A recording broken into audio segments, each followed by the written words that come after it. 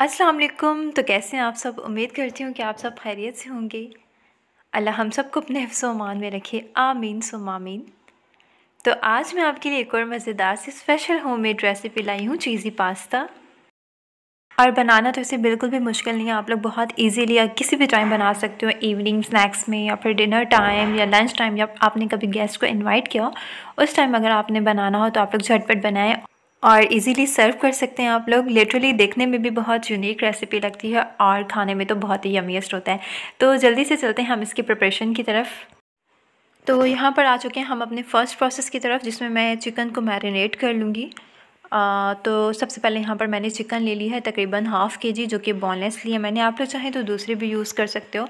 उसके बाद मैंने दही ऐड कर लिया, इसमें तकरीबन टू टेबल स्पून दैन सीरा पाउडर वन टी स्पून उसके बाद chicken tikka powder one tablespoon उसके बाद black salt one teaspoon black pepper one teaspoon soya sauce one teaspoon उसके बाद थोड़ा सा वेनेगर तकरीबन हाफ़ टी स्पून के बराबर। ये सब चीज़ें आपने इसमें ऐड करनी है और अच्छे से इसको मिक्स कर लेना है।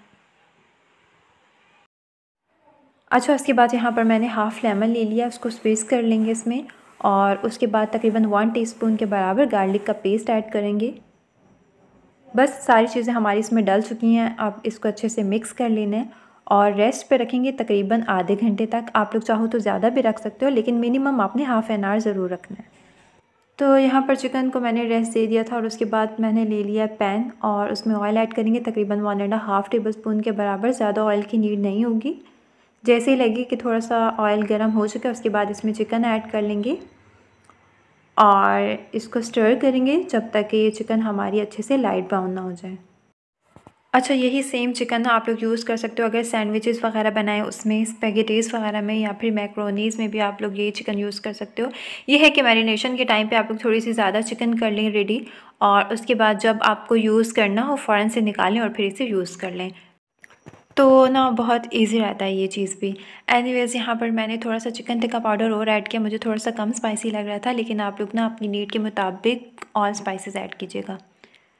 तो यहाँ पर हमारी चिकन देखिए, अच्छी सी लाइट ब्राउन हो चुकी है, और उसके बाद मैंने इसमें तकरीबन जो बॉल में मैंने मैरिनेशन की थी ना, उसी बॉल में मैंने थोड़ा सा पानी ऐड किया और वही इसमें ऐड कर दिया तकरीबन वन कप के बराबर। और फ्लेम को भी मैंने मीडियम रखा है क्योंकि चिकन को ना गलने में ज़्यादा टाइम नहीं लगेगा। ये होता है कि जब हम चिकन अच्छे से मैरिनेट कर लेते हैं ना और उसके बाद उसको रेस्ट पे रखते हैं तो फिर हमें चिकन को इतना कुक करने की नीड नहीं होती। बस थोड़ा ही टाइम लेती है वो। तो यहाँ पर देखें हमने जो पानी ऐड किया था ना, वो ऑलमोस्ट यहाँ पर ड्राई होने वाला है, लेकिन हमने इसको कम्प्लीटली ड्राई करना है। ये देखें यहाँ पर चिकन भी अच्छे से गल चुकी है। बस मैंने फ्लेम थोड़ी सी और हाई कर ली थी ताकि जल्दी से ना ही कंप्लीट हो जाए। तो अल्हम्दुलिल्लाह, यहाँ पर हमारी चिकन रेडी हो चुकी है। बस अब हम इसको साइड पे निकाल लेते हैं और चलते हैं अपने नेक्स्ट प्रोसेस की तरफ़।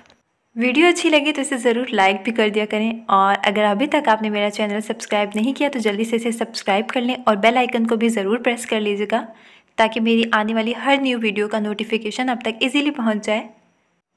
अच्छा चिकन को यहाँ पर मैंने कवर्ड करके रख लिया और अब हम आ गए अपने नेक्स्ट प्रोसेस की तरफ़, जिसमें मैं यहाँ पर रेड सॉस रेडी करने वाली हूँ। बहुत ही मज़ेदार होती है लिटरली आप लोगों ने अगर ट्राई की ना तो आप लोगों को भी बहुत मज़ेदार लगेगी।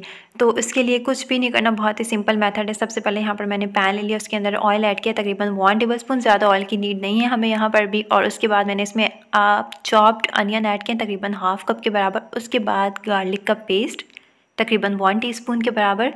अब इन सबको अच्छे से थोड़ा सा मिक्स कर लेंगे। और बिल्कुल फ्लेम जो है ना आपने मीडियम ही रखनी है। इतना इसे कुक करना है कि हमारे जो अनियन है ना वो सॉफ्ट हो जाए और जो हमने इसमें गार्लिक का पेस्ट ऐड किया ना, उसकी अच्छी से खुशबू आना स्टार्ट हो जाए।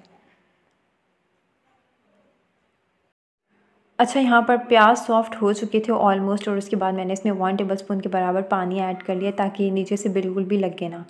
और उसके बाद यहाँ पर ले लिया मैंने प्लेन कैचअप यूज़ किया है, तकरीबन हाफ़ कप लेकिन बाद में मैंने हाफ़ कप और ऐड की थी तो टोटल इसमें वन कप आपने टोमेटो कैचअप ऐड करनी है। यहाँ पर ना मैंने फ्लेम को बहुत स्लो कर लिया है। अच्छा यहाँ पर जो मैंने कैचअप इसमें ऐड किया ना, वो रेडीमेड जो पैकेट्स वाली कैचअप होती है ना, वो ऐड किया है। लेकिन इससे ज़्यादा बेहतर अगर हम इसमें टोमेटो प्योरी ऐड करें ना तो वो बहुत अच्छा रहता है क्योंकि उससे इसकी कंसिस्टेंसी भी अच्छी रहती है। जब मैंने ये कैचअप इसमें ऐड की थी ना तो ये फ़ौरन से थिक हो गई थी। यहाँ पर अम्मी भी इसको टेस्ट करी थी और बोल रही थी कि ये थिक हो गई है। एनीवेज इसमें फिर मैंने थोड़ा सा पानी ऐड किया था ताकि ये थोड़ी सी लाइट हो जाए और साथ ही मैंने वन स्पून इसमें सोया सॉस ऐड कर लिया था और थोड़ा सा मैंने इसको पकने के लिए रख दिया अच्छा साथ ही मैंने यहाँ पर कैप्सिकम ले ली थी और इसकी कटिंग भी स्टार्ट कर ली थी ताकि सैम्बलिंग के वक्त ना इजीनेस रहे। और थोड़ा सा भी आपको बीच में टाइम मिल जाता है ना तो इंसान ये चाह रहा होता है कि फ़र्दर की जो चीज़ें हैं ना, वो पहले से इंसान रेडी करके रख ले। तो मैं तो यूजुअली ऐसे ही करती हूँ। एनीवेज यहाँ पर लास्ट में मैंने इसमें ऑरिगेनो और थाइम ऐड किया, तकरीबन वन वन टी स्पून के बराबर। ये इस रेसिपी की मेन इन्ग्रीडियंट्स हैं, जो कि हमने बिल्कुल लास्ट में ऐड करने हैं। तो बस यहाँ पर हमारी मज़ेदार सी रेड सॉस रेडी हो चुकी है, और अब मैं इसे कवर्ड करके रख देती हूँ, और चलते हैं अपने नेक्स्ट प्रोसेस की तरफ़। अच्छा यहाँ पर मैं रेडी करने वाली हूँ वाइट सॉस जिसके लिए यहाँ पर ले लिया मैंने पैन और उसके अंदर ऑयल ऐड किया तकरीबन वन टेबल स्पून के बराबर। उसके बाद मैंने इसमें ऐड किया है गार्लिक का पेस्ट तकरीबन वन टी स्पून अच्छा बिल्कुल मीडियम फ्लेम पे हमने इसे कुक करना है और जैसे ही आपको लगे कि गार्लिक का पेस्ट जो हमारा लाइट ब्राउन सा हो चुका है, उसके बाद इसमें ऐड करेंगे। कॉर्न कॉर्नफ्लावर तकरीबन one and half tablespoon के बराबर, उसके बाद इसको अच्छे से मिक्स कर लेना है ताकि कोई भी इसमें ना लम्स ना बने बाद में।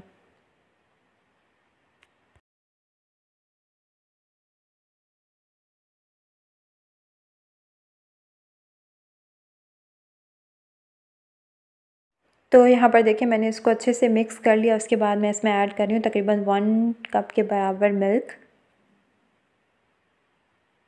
एक दफ़ा और अच्छे से मिक्स कर लेना है। अगर आपको लगे कि यहाँ पर आपके लम्स हैं तो आपने उसको बिल्कुल ख़त्म करना है।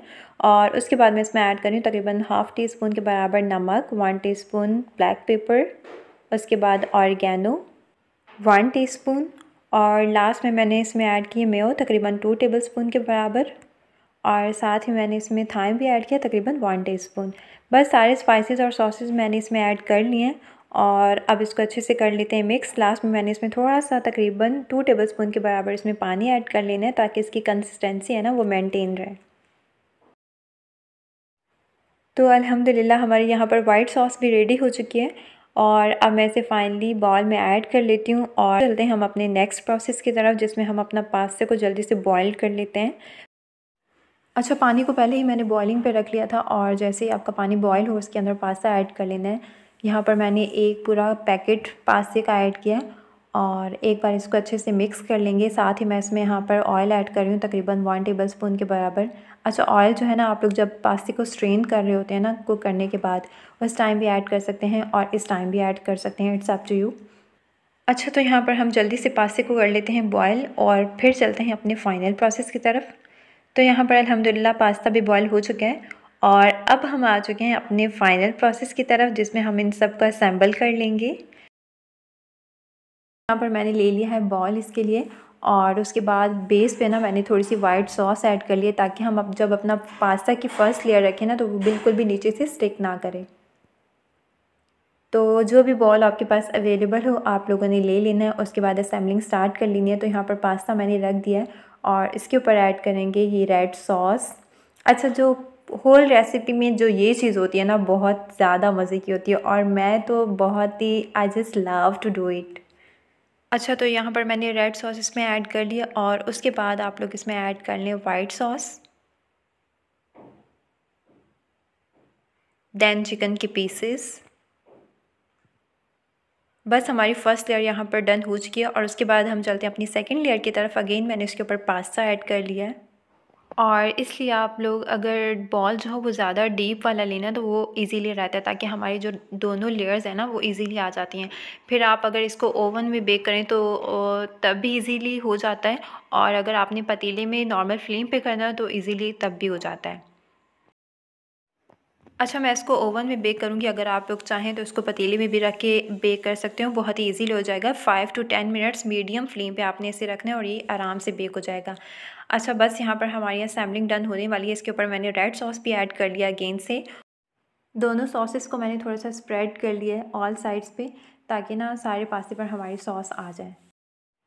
तो आप लोगों ने भी इसे ज़रूर ट्राई करना है और कमेंट सेक्शन में मुझे अपना फ़ीडबैक भी ज़रूर देना है। आई होप कि आपको ये रेसिपी ज़रूर पसंद आएगी। और यहाँ पर मैंने फाइनली इसके ऊपर कैप्सिकम ऐड कर लिया, जो पहले से मैंने कट करके रख लिए थे। और अब हम फाइनली इसके ऊपर लास्ट में ऐड कर रहे हैं चीज़ अच्छा मॉसरेला और चैडर चीज़ दोनों को मिक्स करके आपने इसके ऊपर ऐड कर लेना है। अच्छा चीज़ इसके ऊपर जितनी ज़्यादा स्प्रेड करें ना पास्ता उतना मज़े का बेक होता है।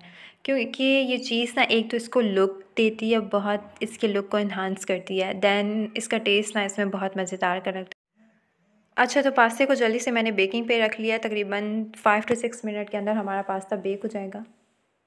तो यहाँ पर अलहमदिल्ला हमारा पास्ता हो चुका है बेक जल्दी से इसे निकाल लेते हैं और कर लेते हैं सर्व तो बस अब जल्दी से मैं इसे निकाल लेती हूँ प्लेट के अंदर और माशाल्लाह से देखने में ही इतना लजीज लग रहा है और खाने में तो और भी ज़्यादा मज़ेदार था। तो आप लोगों ने ये रेसिपी ज़रूर ट्राई करनी है और मुझे कमेंट सेक्शन में ज़रूर अपना फ़ीडबैक शेयर करना है। और अपनी प्यारी प्यारी दुआ में भी ज़रूर याद रखिएगा। इन फिर मुलाकात होगी एक न्यू रेसिपी के साथ। जब तक के लिए अल्लाह हाफिज़।